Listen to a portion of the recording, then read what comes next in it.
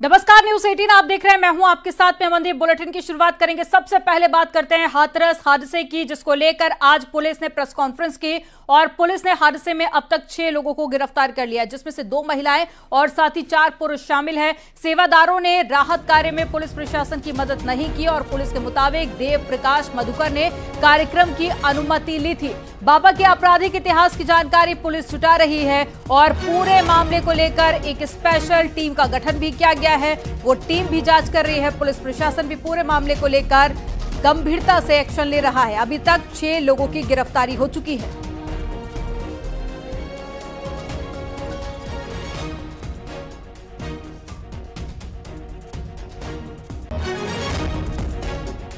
तो हादसा है या साजिश इसकी जाँच की जा रही है। और पुलिस ने अभी तक पूरे मामले को लेकर छह लोगों को गिरफ़्तार कर लिया है। सेवादारों ने पुलिस का सहयोग नहीं किया है। अभी तक की जाँच में यह भी निकलकर सामने आया।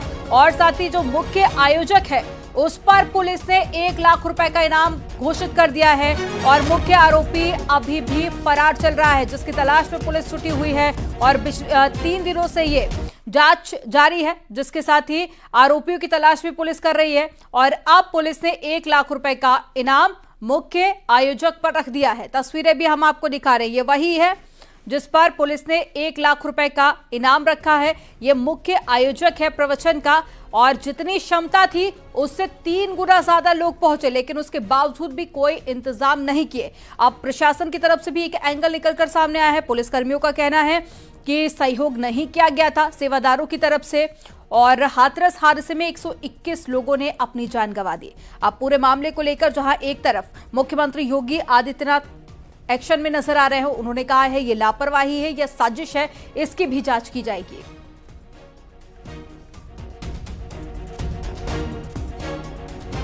तो जो तस्वीर आप देख रहे हैं, ये वही व्यक्ति है।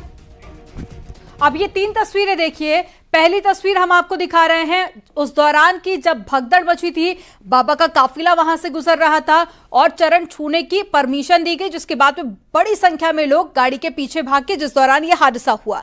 दूसरी तस्वीर आप देखिए यह उस दौरान की है, जब प्रवचन चल रहे थे और बाबा फरार है, जिसकी तलाश की जा रही है। और तीसरी तस्वीर आप देखिए, जो आपके रोंगटे खड़े कर देगी, ये उन परिजनों की तस्वीरें हैं। जहाँ मातम पसरा हुआ है। हाथरस के बड़ी संख्या में लोगों की मौत हो गई है। इसके अलावा अलग अलग राज्य के लोग भी इनमें शामिल हैं।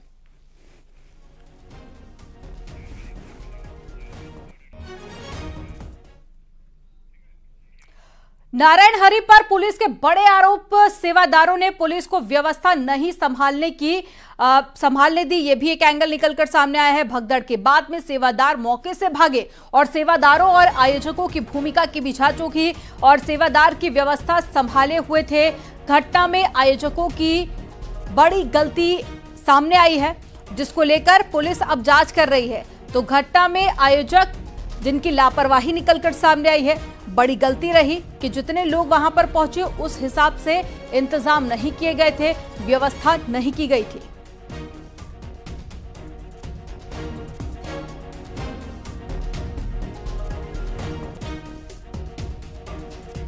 तो घटना में आयोजकों की बड़ी लापरवाही निकलकर सामने आई है। अब ये तीन तस्वीरें और आपको दिखा रहे हैं। पहली तस्वीर आप देखिए ये जो आर्मी आपको नज़र आ रही होगी ये आर्मी आ, महिलाओं की ये बाबा की पर्सनल महिला सेना है।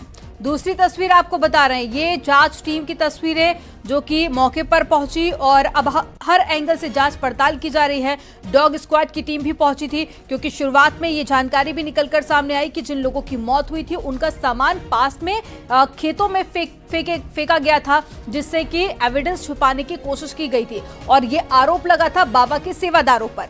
अब वहीं पर टीम पहुँची और कई सारे एविडेंस टीम के हाथ भी लगे। तीसरी तस्वीर आपको दिखा रहे हैं, ये बाबा का आश्रम है। जहाँ पर बाबा छुपा हुआ है। न्यूज़ एटीन की टीम भी यहाँ पर पहुँची थी। वो रिपोर्ट भी हमने आपको दिखाई थी।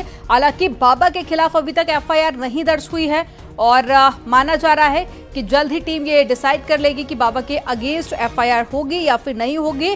फ़िलहाल बाबा इसी आश्रम में छिपा हुआ है।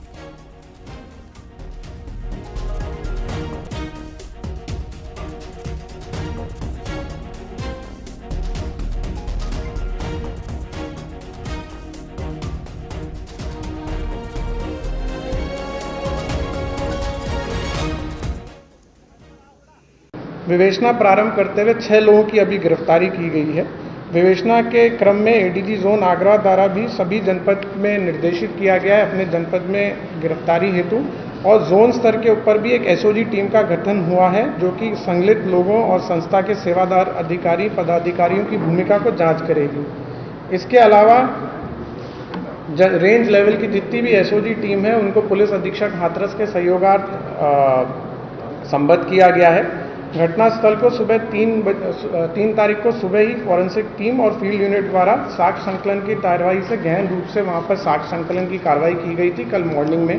जैसा मैंने बताया छह लोगों की अभी गिरफ्तारी हुई है जिसके अंदर राम लड़ेते पुत्र रहबारी सिंह यादव निवासी भानुपुरा थाना कुरावली जनपद मैनपुरी उपेंद्र सिंह यादव पुत्र रामेश्वर सिंह निवासी शिकवाबाद जनपद फिरोजाबाद मेघ सिंह पुत्र हुकुम सिंह, जनपद हाथरस सिकंदराव थाना, इनकी गिरफ्तारी की गई है। मंजू यादव, पत्नी सुशील कुमार थाना सिकंदराव इनकी गिरफ्तारी की गई है। मुकेश कुमार, जो कि पुत्र मोहन सिंह, ये थाना सिकंदराव के हैं, इनकी गिरफ्तारी की गई है। मंजू देवी, पत्नी किशन कुमार यादव, कचोरा थाना सिकंदराव 40 वर्ष इनकी गिरफ्तारी की गई है। इनकी गिरफ्तारी जो है थाना कोतवाली और सिकंदर राव से की गई है। हाथरस में भगदड़ कैसे मची और 121 लोगों की जान कैसे गई, इसे लेकर अभी भी जाँच हो रही है। इस बीच बाबा सूरजपाल से जुड़ी नई जानकारी सामने आ रही है। अब तक पता चला है कि पूरे यूपी में बाबा के करीब 25 आश्रम हैं और हर आश्रम में बाबा के सेवादारों ने मोर्चा संभाल रखा है, लेकिन हादसे के बाद से बाबा गायब है और अभी तक वो सामने नहीं आया। पुलिस बाबा की तलाश कर रही है और इसी बीच भगदड़ से पहले का सबसे नया वीडियो भी सामने आया है। जबकि इस बाबा के सत्संग का पेपर माफिया से भी कनेक्शन सामने आया है। अब ये तस्वीरें आप देखिए, आपको नए वीडियो के साथ साथ वो पुराने वीडियोस भी दिखा रहे हैं जो कि इस घटना से जुड़े हुए सामने आए हैं।